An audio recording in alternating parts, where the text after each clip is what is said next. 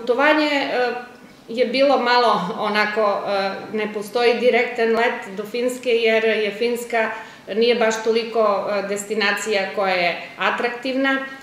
Malo smo se tu oko puta namučili, dugo je trajalo, ali se isplatilo. Finska je jedna zemlja, znači prvi utisak, redko naseljena, ljudi su mirni, smireni, vreme je bilo takvo da je u 8 sati ujutru bio još uvek mrak i u pola četiri popodne je već bio mrak. Tako da mi u principu nismo imali puno slobodnog vremena, provodili smo u školama i na fakultetima otprilike 6 do 7 sati svakog dana. Domaćin nam je bio Mika Risku, doktor nauka, direktor univerziteta u Juvaskuli. Juvaskula je univerzitetski grad, udaljen 270 km od Helsinkija.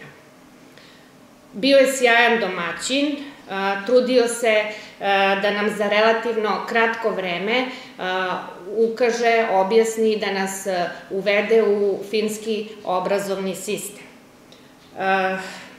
Oni prednjače pre svega u rezultatima na PISA testiranju, koji su daleko bolji od ostalih evropskih zemalja, a pogotovo jedna škola u kojoj smo išli ima najbolje rezultate i u celoj Finskoj. Cilj naše studijske posete je bio, znači, upoznavanje sa finskim obrazovnim sistemom, sa sistemom obrazovanja nastavnika, koji je izuzetno dobar i njihovi nastavnici su uglavnom veoma ličnosti od ugleda, i veoma se poklanja pažnja regrutovanju nastavnog osoblja. Selekcija je stroga, s tim što postoji pripremni period, u tom pripremnom periodu se procenjuje da li onaj ko želi da bude nastavnik može da bude dobar odeljenski starešin. Da li može da uspostavi komunikaciju sa decom, sa roditeljima, sa kolegama, Ukoliko se uspostavi da je sposoban, da ima takve ljudske kvalitete, on može da bude predmetni nastavnik.